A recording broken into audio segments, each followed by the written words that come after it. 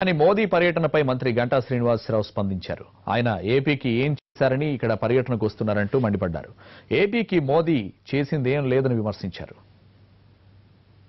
Steel plant దగ్గర నుంచి Dugarajapatnam port దగ్గర నుంచి ఈ పోలవరం పూర్తి చేయడం దగ్గర నుంచి అనేక అంశాల్లో హామీలు ఇచ్చి ఏ ఒక్కటి కూడా అమలు చేయకుండా ఈ రాష్ట్రం దగా చేసిన ప్రధానమంత్రి గారికి ఈ రాష్ట్రానికి పర్యటనకు వచ్చే నైతిక హక్కు లేదని చెప్పిన కూడా మీ ద్వారా తెలియజేసుకుంటూ ఒకవేళ ఆయన కానీ నిజంగా ఈ రాష్ట్ర పర్యటన రావాలంటే ముందుగా ఈ రాష్ట్ర ప్రజలకి క్షమాపణ చెప్పి ఏదైతే ఇచ్చిన మాట తప్పాను చేయలేకపోయాను కాబట్టి క్షమించండి అని ప్రజలను క్షమాపణ కోరిన తర్వాతే ఈ రాష్ట్రంలో ఆయనకి పర్యటించే నైతిక హక్కు ఉంది తప్ప ఆయన ఏ ఒక్క హామీ అమలు చేయకుండా రాష్ట్ర ప్రజలకి మొండి చేయి చూపించి ఈ విధంగా పర్యటన రావడం అంటే ఇది చాలా అభాస్పాలు అవుతారు ఇది ఖచ్చితంగా ఆయన ఆలోచించుకోవాల్సిన అవసరం కూడా ఉంది.